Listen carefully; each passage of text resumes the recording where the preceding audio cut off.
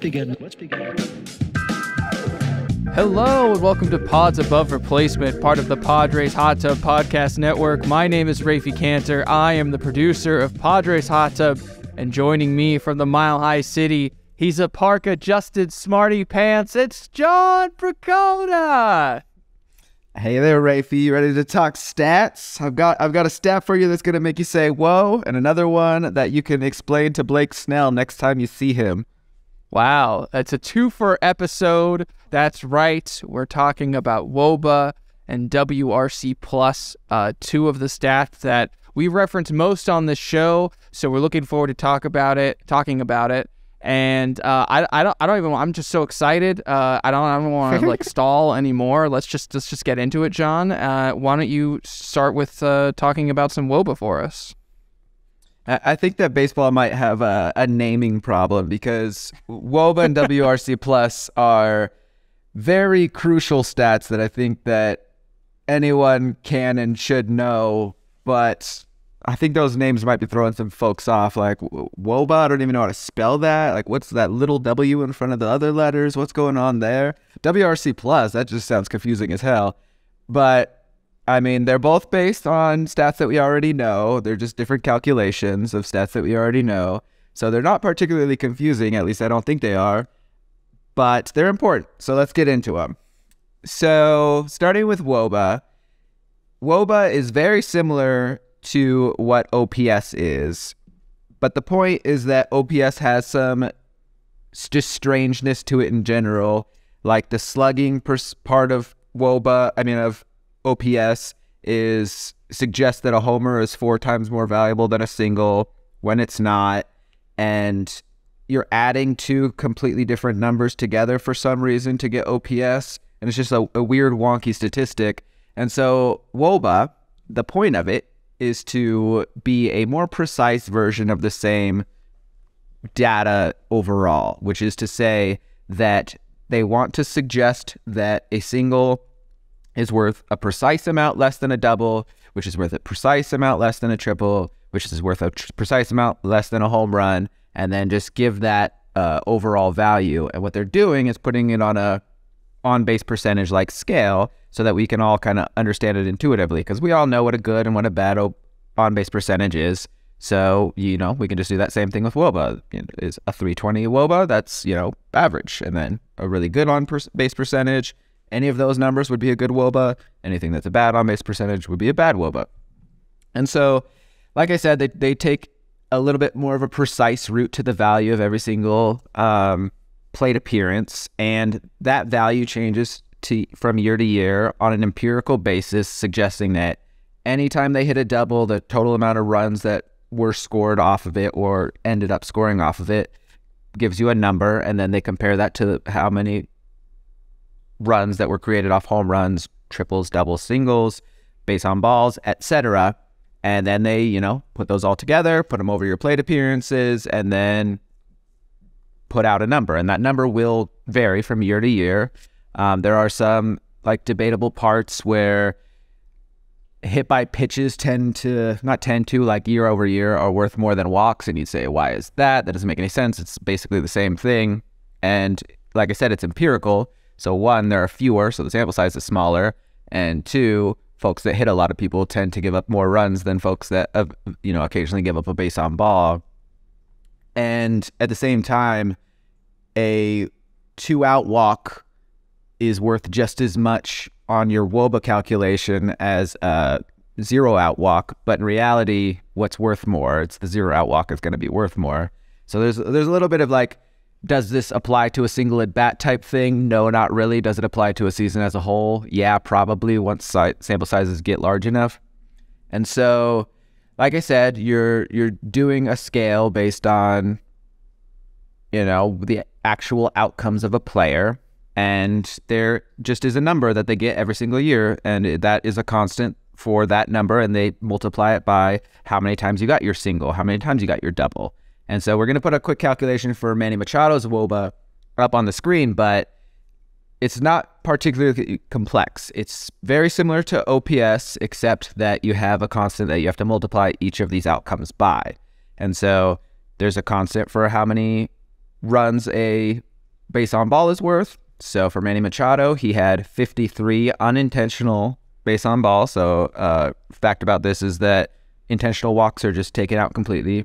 Don't necessarily know why, but that is what it is. So he had 53 unintentional walks. Times that by the constant, which is 6.89, and then you got how many, how much his weighted value was for walks last year. And then you do the same thing by hit by pitches. He had one, the constant seven point or point seven two one. Same thing for singles. He had 102, constants eight or 0.884. Same thing for doubles. Same thing for home runs, etc. And you can, you know, we'll show you the calculation. It adds up to exactly what his WOBA was overall, which was 382 last year. So I talked about it a little bit, but did you want to give a couple rules of thumb for WOBA overall? Yeah. So, uh, like John mentioned, uh, WOBA is is normalized so that it's equal to what the on base percentages of the year er, in a given season uh, for for the year. That being said, there are some general rules of thumb that are good to practice. Where if you if you get a flash like glance at someone's WOBA, it, it'll give you just a general like, okay, this is what the quality of their year was. So um, again, uh, you know, 320 is about average because that generally is about the average uh, on base percentage for uh, a given year in baseball. Sometimes that fluctuates, but you can use 320 as your benchmark. And so the same apply, uh, applies for WOBA. 320 is about average. So if someone has a 320, 323, 317 WOBA, you can say, okay, their total offensive contribution to the team was about average for a given season. And then basically every 20 points is is kind of a, a grade in either direction. So a 340 WOBA is uh, about above average. Uh, and you know you get to the 360 370 range uh, then it's it's you start to get to great, and then once you hit above 400, you're like, oh my god, this player is excellent. You know, uh, this is a Juan Soto level type Mike Trout sort of contribution.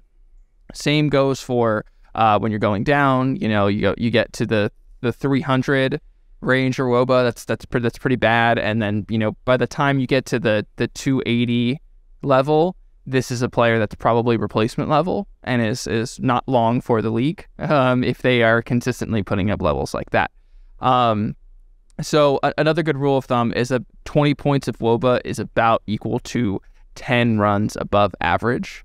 And if you recall in our WAR episode that we just posted, um, 10 runs above average, uh, it, it, give or take, is about worth a, a win. Um, you know, runs per win generally fluctuates between 9 and 10.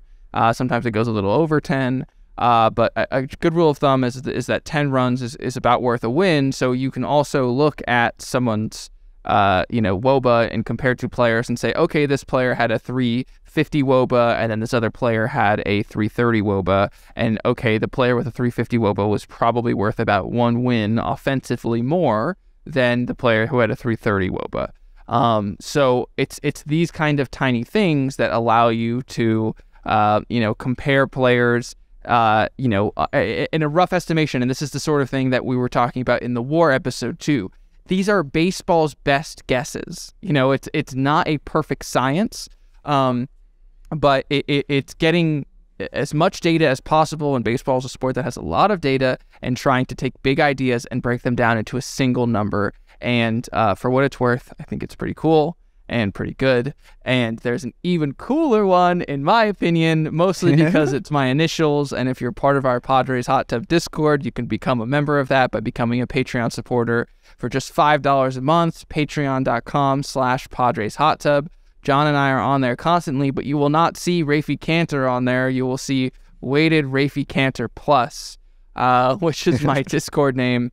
Uh, and is the name, the the the initials of a certain other stat that John, uh, I don't know if you want to break down for us. Yeah, so WRC Plus. Let's talk about it so that we can teach Blake Snell the next time we see him, as we see him all the time, I'm sure. so uh, we went into WOBA first because WRC Plus is heavily dependent on WOBA. However, WOBA needs to be manipulated a couple times in order to get to WRC plus. So first you take your WOBA. and that is a rate-based statistic, which means that you can have, you know, a 40, a 400 WOBA in 10 plate appearances, and that's obviously dramatically less valuable than a 400 WOBA over 600 plate appearances. So you have to you have to turn it into a counting stat in order to see just how many runs that was worth in however many plate appearances they had, and then all you have to do after that is adjust it for the park in which you played, and then the the league in which you played, like AL versus NL, which, as we described in the War episode, is getting dangerously close to being about the same. Um, those run environments, but those, I mean, it sounds simple. You're just turning the rate-based stat into a counting stat and then adjusting for park and league. But the thing is that those those adjustments can be dramatically different, and for us as Padres fans, they can make our numbers look a lot worse than they are because I mean, in the past five years, the run environment for Petco Park has been tied for the second worst in the league, behind only the New York Mets home field. And so when you see those WOBAs, they're going to be lower than anybody's WOBA at, say, Coors Field or Fenway Park. And, you know, uh, you, you can't really do a one to one comparison because we have to play in Petco and they get to play in Coors, right? And so just to put some numbers on that to exemplify how big of a difference that's making in this modern era is Manny Machado last year had his near MVP year and he had a 382 WOBA. And so when you adjust that for the park in which he played, Petco Park, you end up getting a WRC plus that's 152. And as we've explained in the past, WRC plus and all plus statistics and all minus statistics are based on 100 points being average. So when we say that Manny Machado had a 152 WRC plus, we are saying that he was 52% better than league average. So every single point above or below 100 is 1%. And so he had 152 WRC plus, that's 52% above league average. The year before, in 2021, CJ Cron had a 383 WOBA, which is just in line with Manny Machado's 382 WOBA of last year. But playing in Coors Field, his WRC plus dropped all the way down to 126, so only 26% better than league average, which is once again 26 more percent below Manny Machado last year. So just overall, we're talking average is 100 based on how your WOBA, how much success you had at the plate, adjusting for how many at bats, and then the park and the league, what percentage were you better or worse than league average? And you can get largely different WRC pluses than those little WOBAs that you'll see on the board based on the parks. Did you want to maybe give an example of where those numbers can get particularly wonky?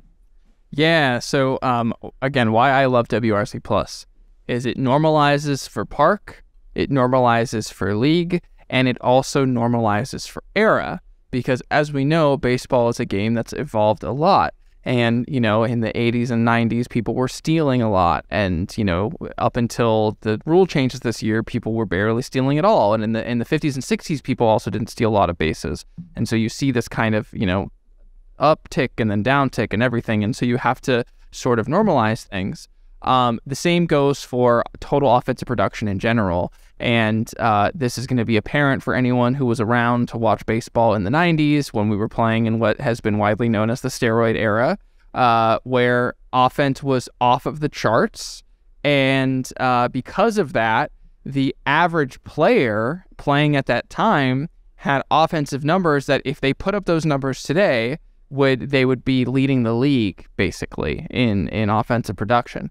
And uh, we don't need to look any further than Dante Bichette, father of Bo Bichette, who I always want to say Boba Fett, and it's really hard for me not to. uh, but Dante Bichette in 1999, he played for the Colorado Rockies, and he put up a stat line that uh, was 298, uh, 298 batting average, on base percentage of 354, and a slugging percentage of 541. That adds up to an OPS of 895. And that being said, his WRC plus was 100. He had a league average offensive contribution when he put up almost a 900 OPS.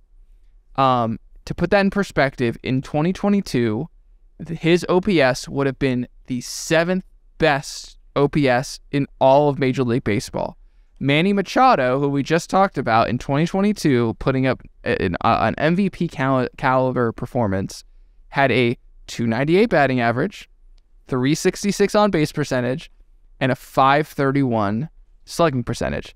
That is an 897 OPS. Okay, so almost exactly the same OPS, but between the park factor, which at, at, you know, there's a great article on Fangraphs about this. I'll just Google Dante Bichette 1999 and you'll find it. And it um, references that this particular Coors Field always is kind of an offensive powerhouse, but this particular season in 1999, for whatever reason, like walks were out of control, BABIP was out of control, like all of this crazy stuff was out of control, and so uh, the offense was was crazy high that year. And then we obviously talked about war in our last episode, and there are positional adjustments, and then there are league adjustments, and all this stuff. And uh, Manny Machado playing third base, it's it's I wouldn't call it a premium uh, defensive position, but it is you know you do get a, a slight two and a half run bonus on Fangraphs for playing third base, and he played it plays third base particularly well. You know he had uh, 6.9 defensive runs last year above average uh, add in the positional adjustment, that's basically a win just for him playing third base the way that he does. Um, Dante Bichette played left field, which is one of the least valuable positions, and he played left field in gigantic Coors Field. Um, so he was he was already a poor offensive player. Usually played right field, was playing left field, and uh, there's an argument to be made that left field in Coors is actually a little bit more difficult than right field, just because there's more surface area and just the way the ball plays there. And so uh, he was particularly ill suited to be playing uh, left field at Coors. And so you add in his his league average offensive performance, given the fact of, of how people were playing in Coors Field that year, and add in his his truly terrible defensive performance. He put up negative 2.1 WAR in 1999, two wins below average and all of that while ha- putting up an 895 OPS. And that just goes to show you why I think WRC Plus and War, you know, generally are are so cool is because you can look at Dante Bichette in 1999 and him putting up those crazy numbers and you can have people say all the time like I, you know, I, I yearn for the days of Dante Bichette when when guys would just hit and you know Dante Bichette was this scrub and he was still hitting 300 and blah blah blah blah. And you can say nay nay nay nay nay. They, that was a, a league average performance. And uh, you know Dante Bichette, if he came down here in 2022 at Petco Park and played that same performance, he would not touch Manny Machado, even though on paper they quote unquote hit the same. So that is what is so cool about these stats is that you're adjusting for where people play, you're adjusting for who they play for, and you're also adjusting for the era in which they play. And it's a, a common parlance that we can use to try and compare seasons across eras. So, um, very cool stat. Uh, any any uh, parting words of wisdom for the folks before we shut this baby down?